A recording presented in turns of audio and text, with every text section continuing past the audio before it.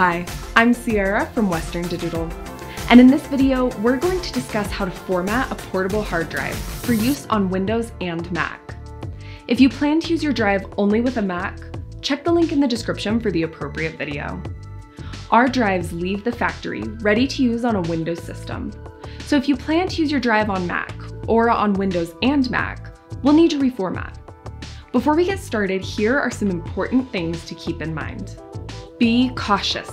This process is data destructive and cannot be undone. Once you start formatting your drive, all data on the drive will be lost.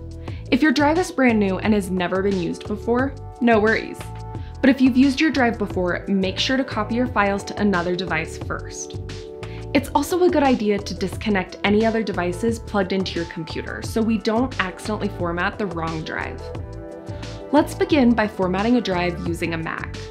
If you're reformatting on a Windows system, use the timestamp in the description below to jump to the correct part of this video. Start by connecting your WD drive to your Mac computer. Open Disk Utility by clicking on the spotlight icon and typing Disk Utility. Double-click on the application to open it. On the left side of the app, you should see all of your available drives listed. Select the drive you want to format and click the Erase button a window will appear asking for confirmation. Type in a new drive name.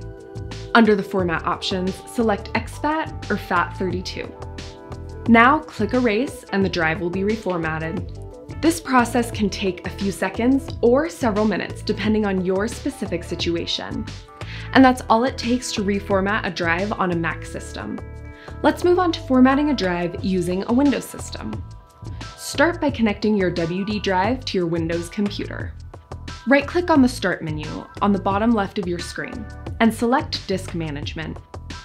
All of your available drives will be displayed on the lower panel in Disk Management. Find your WD external drive. Right-click on the blue bar above the drive and click Delete Volume. If the bar above your drive is black, this means it's unallocated, and we'll need to take extra steps to fix it. Right-click on the black bar and select New Simple Volume. Once the Welcome to the New Simple wizard has opened, click Next. Choose the volume size. By default, this is already selected at the maximum disk size, and we recommend you leave it there. Select Next. Assign a driver letter to your new volume and click Next. On the next page, set your file system to exFAT or FAT32 and name your drive in the volume label field. Check the Perform a Quick Format box and select Next. Click Finish to begin formatting the drive. This process can take a few seconds or several minutes depending on your specific situation. When it's finished, the drive will appear with a blue bar.